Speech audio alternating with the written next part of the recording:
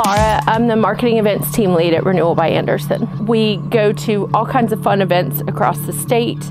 We have a fantastic team and we always meet great people at the events and get to introduce lots of new people to our products.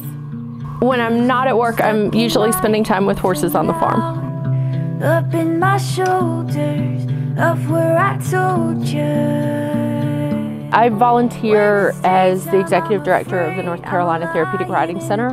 We have been around for 46 years. We work with children and adults with really any disability that we can safely accommodate. We offer equine facilitated psychotherapy, hippotherapy, and adaptive riding. Oh, and we have an inclusive summer camp as well.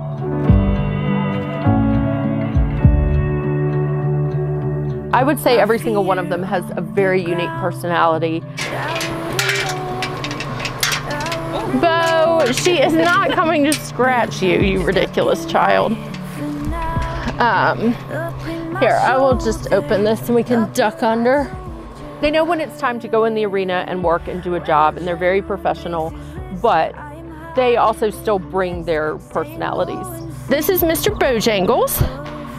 If he feels like you're late feeding him and his pan is out here, he will grab his pan and throw it in the air to get attention. He'll throw it over the gate if he thinks you're really not fast enough with bringing him food. He's a total goofball. We actually work really hard at making sure that the horses have the best quality of life possible so that they can kind of reserve all of their emotional bandwidth for bonding with our clients. This is Adara. She is definitely one of the most popular horses in our program. So she's what's called a draft horse. So you can see she's a little bit thicker boned. It also means she's got a little bit slower twitch muscles. So she is very calm and slow and allows a lot of our clients to ride that it would be tough to find another suitable horse for. On average, we screen out 49 horses for every one that makes it into the program. We want horses that have been exposed to a lot of different situations so that we can reasonably expect how they're going to react in a unique situation. You know, if a child has a meltdown or if a child has a seizure. We have found horses from some of the most unique places. You never know when you're going to run across the perfect one.